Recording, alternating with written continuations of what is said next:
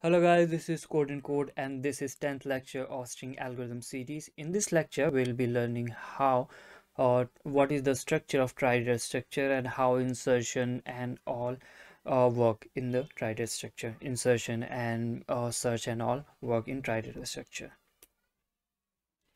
So what uh, the trie-data structure is actually a k k-nary tree. I don't know how to pronounce that but you get the idea like binary ternary and so on. K here is general. For binary case 2 ternary case 3 and so on. In other words for it's it's a k-nary tree. So let me show you with an example. So this is an example of ternary tree right?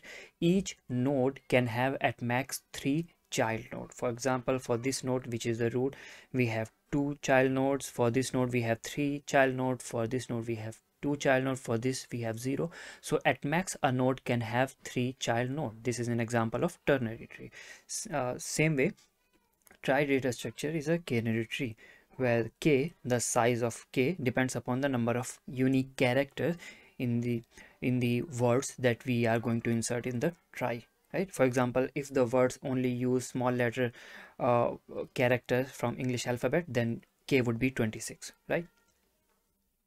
So k depends upon the uh, number of unique character in the words that we are going to insert in the trie data structure. Now if i show you the example how we insert data in trie so suppose we wanted to insert the word bad okay bad.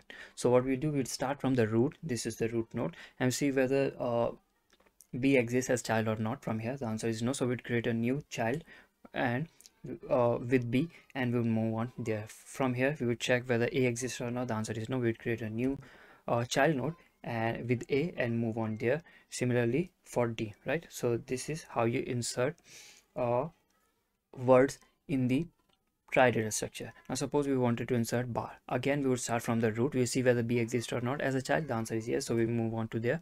We will see whether a exists or not as a child. Yes it exists. So we would move on there. We won't create of course because they already exist. Now from here we will see whether r exists or not. Of course r do not exist. So we create a new node with r and we would move on there. So we have inserted all of the characters. So bar is also inserted in the trie so if you wanted to search something like say uh, bad so what you would do you would start from root again. You see whether b exists or not. The answer is yes. We would go to a and then we would go to d. Now since we have checked for all of the characters we have matched all of the character and uh, and we have matched since we have matched all of the characters so we can from here return true for example if you wanted to search man man uh, you would start again from the root you see whether m exists or not as a child. The answer is no. So directly from there you can return uh, false and so on. So this is how searching and insertion takes place in the trie data structure. The implementation don't worry we'll we'll see that as well. So if you insert all of these characters this is how your trie looks. Okay? You can perform search like bakery b a c k uh, you would see whether b exists or not. Yes so you would go to a then you'd go to c then you'd go to k and then uh, none of the other characters of bakery exist. So you can directly return false from here right? So this is how uh, search works. Now then we have binary trie binary trie uh, all of the uh, it is basically binary tree right? It, it is not a specific character uh, structure not a standard structure. I'm just calling it binary trie because of course it can have at max two child. Each node can have at max two child because zero or one these are the two unique character in the words that we want to insert in the trie right? And why we need this? If you remember the in the first lecture of the trie i told you the kind of problem that we'll we'll be able to solve using trie data structure. This was the example uh, example problem that i showed you. And it deals with xor uh, xor operation of on binary uh, on binary numbers right? So this because of this we'll be solving that problem using binary trie we'll be inserting all of the integers inside uh, in the trie and then perform somehow we'll be able to we'll be able to perform third query in log n time okay? And because of this we will be using trie data structure. And as you can see uh, let me just show you the structure of the trie so this is a binary trie right? And structure would look something like this. So since since each node need uh need a pointer to k child that's why uh, structure would have node pointer uh, of size uh, SIZE of course. I, I've defined it 26 because I am uh, assuming that we are working only on small letter characters right? That's and that can be 26 different characters that's why I'm using uh, size to be 26 so this is your what we say the pointers.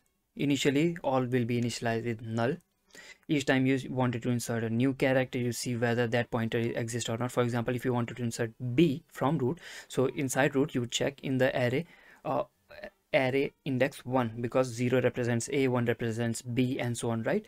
So you say whether a is null uh, ar of 1 is null or not. If it is not null that means b already exists. If it is null we would create a new node and so on and map it to that newly created node right?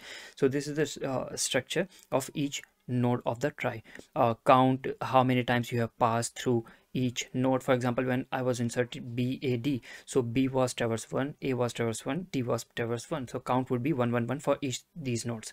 Now i want to insert back now i would go to b so count of b would become 2 similarly count of a would become 2 count of c and k would be 1 1 now if you if uh, this how how this will help?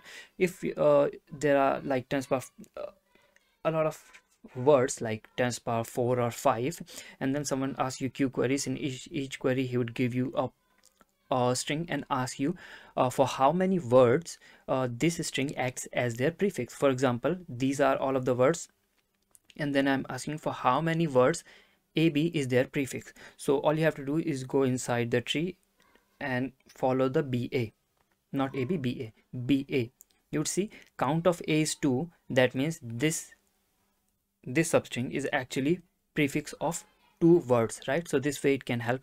Uh, depending upon your uh, your problem uh, you can add or remove uh, other other data from this structure.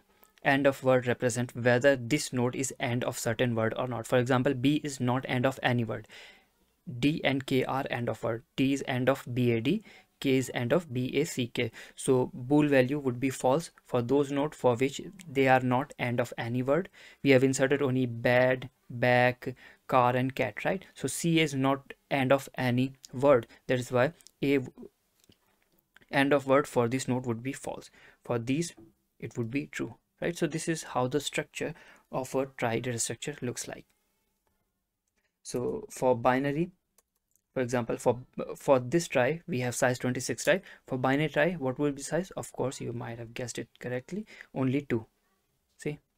This is the solution of this problem. So uh, since we will be using binary trie here so of course size would be only 2 so yeah this was all for this lecture. If you have any doubt or query till now you can ask in the comment section. In the next lecture we are going to implement the uh, insertion uh, you can see here we'll be in, uh, implementing insert delete.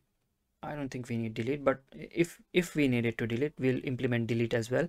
And insert search insert and search for sure. Maybe if we need delete we'll implement that as well. So all of the function that we need to construct the trie we'll learn all of that in the next lecture. So this was all for this lecture. Thank you guys for watching. And till the next video drops keep coding. Thank you